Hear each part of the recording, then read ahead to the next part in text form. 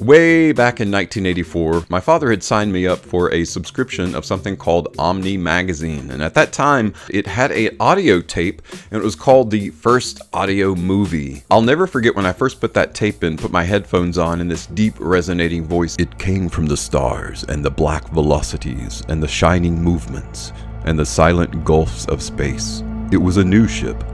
It had fire in its body and men in its metal cells. Up until that point, and even till today, I'd never heard the words men and metal used together so creatively. And when you think about it, there are very few materials that present themselves quite as masculine as metal. There are actually metallic fragrances out there, and some of them are absolutely awesome to wear, to experience, and to have other people around you experience them as well. So that's the theme of today's video. Today we're talking about men and metal and seven fragrances that are perfect for everyday wear that have that whole metallic theme threaded throughout the fragrance. We've got that and more coming your way, so stay tuned.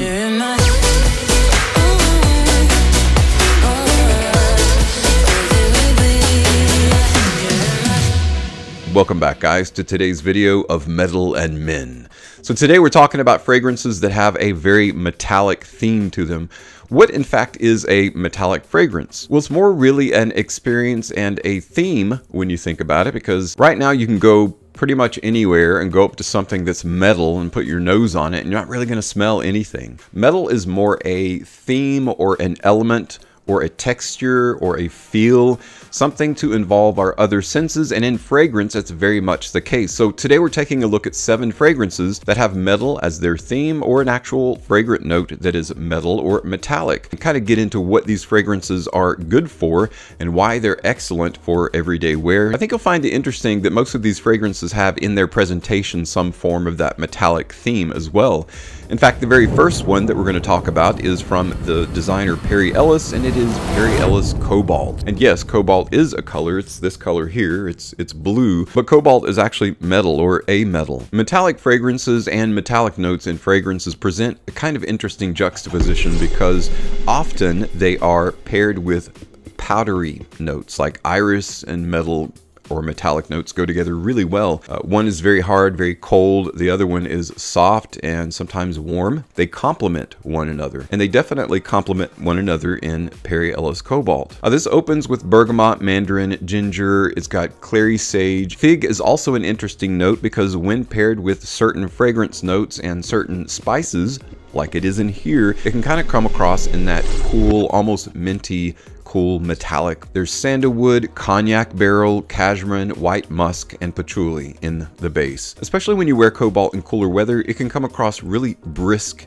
really bracing and sharp. It's got that metallic bite or tincture in the background. That is pretty much Perry Ellis Cobalt in a nutshell. Not for everyone. Definitely give this a try, but to me, it's one of the best kind of metallic, masculine Perry Ellis Cobalt. Super inexpensive too, so it's a great economical find for your metallic themed fragrances for everyday wear. The next fragrance of Men and Metal that's kind of got a metallic theme about it is a hidden gem in my estimation. I'm really happy to be able to share this one with you. It's actually from Kenneth Cole and it's a surprising little fragrance. One that I recommend running out and buying right now because it's a great price and it's perfect for this time of year. It is Kenneth Cole's Copper Black. Copper Black has some interesting notes apple, ginger, mandarin orange leaf in the open, cardamom, black leather, and bourbon whiskey in the heart. The base, you've got vanilla, guaiac wood, and tonka bean. That sounds great, doesn't it? Anything that's got black leather and bourbon whiskey and vanilla, guaiac wood in it sounds like a great fragrance. I'm actually wearing Copper Black as my scent of the day today. It's lightly sweet, very warm. It's got that boozy effect to it. There's a bit of a kind of a warm copper, iron, salt thing going on in the fragrance that is underlying that boozy and that sweet and that welcoming and that extremely accessible fragrance formula. There's something about it that is extremely pleasing for not only the person wearing, but for someone smelling it on you. It is a subtle, a little bit of a quiet compliment puller. I don't mean that it doesn't project, that it doesn't perform, because it does both of those things really well, but it's just on a more subtle scale. It's not a loud fragrance at all. Perfect for an everyday wear aesthetic, but specifically in cooler weather. Just like Perry Ellis Cobalt, definitely a cheapy hidden gem. Nobody's talking about, very few people are wearing. So if you want to wear something unique, has that metallic theme threaded throughout, definitely check out Copper Black by Kenneth Cole. The next fragrance that has that metallic theme or has a metallic note in it, I've actually talked about it several times. So this is just kind of a re-up, a reminder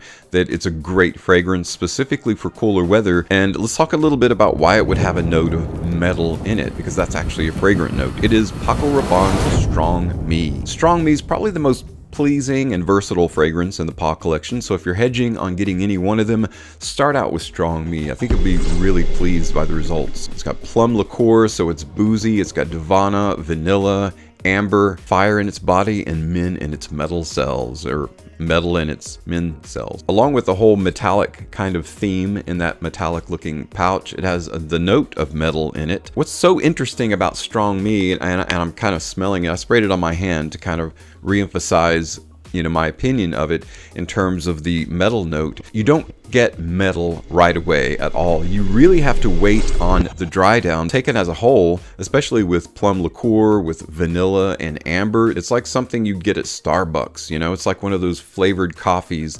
It's warm, it's rich, it's like the perfect amount of sweetness. But there's something at its edge, especially in the dry down, that gives it this cooling effect. That's the metal finally showing up in the base of the fragrance. Kind of the best of both worlds, you know? You've got that perfect warm fall-like autumnal fragrance, and you've got this cool metallic theme in the bottom of the dry down. Again, one of the best out of the collection, Strong Me by Paco Rabanne. The next metallic theme fragrance of Metal and Men is pretty obvious by the name itself. It is a fragrance by Prada in the Luna Rossa line. It is Prada Luna Rossa Carbon. Obviously carbon, carbon steel.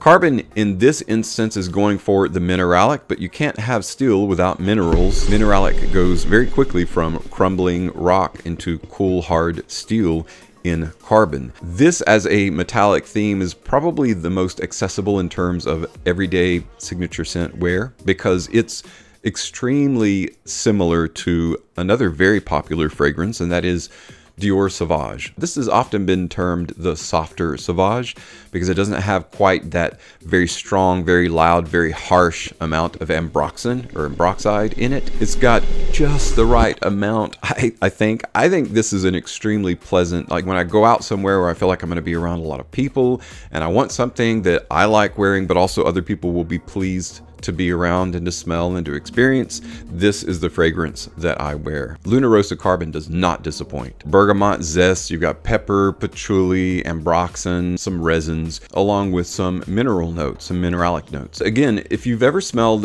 Dior Sauvage, then you kind of get an essence of what this is about. I like it actually a bit better than Sauvage. Sauvage feels like, you know, a five-year-old yanking at your shirt wanting attention constantly when you're trying to do something else.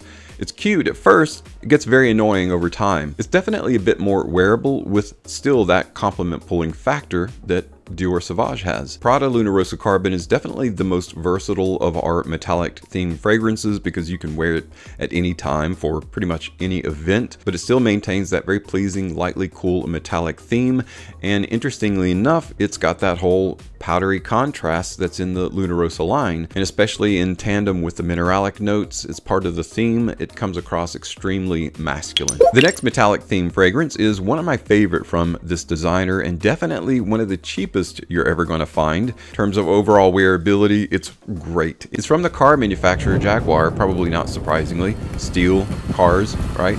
It is classic chromite.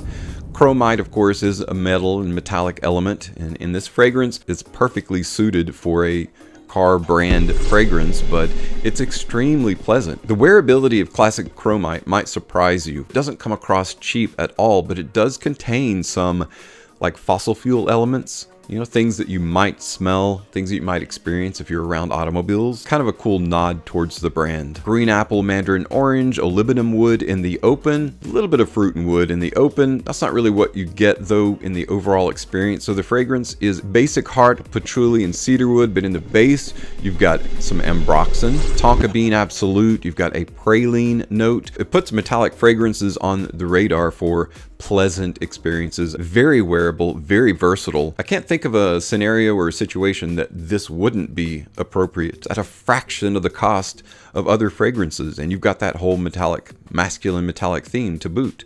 Classic Chromite by Jaguar. The next masculine metallic fragrance is actually from Hermes, and it's not a stretch to think of when you think of hot metal and linen, which is kind of what it's comprised of, and that is H24.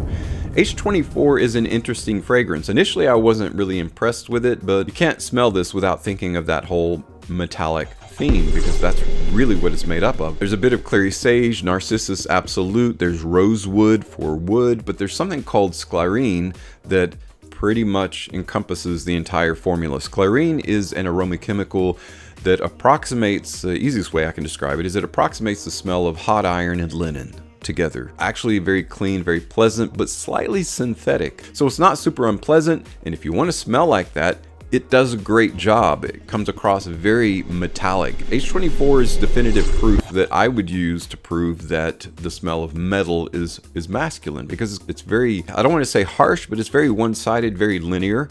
You know, I, I do like the open of this. It's got this nice, soft, almost fruity overlay. That's a combination of the Narcissus and the Clary Sage promoting the Sclarene, which is the in the dry down, that overall hot iron linen smell.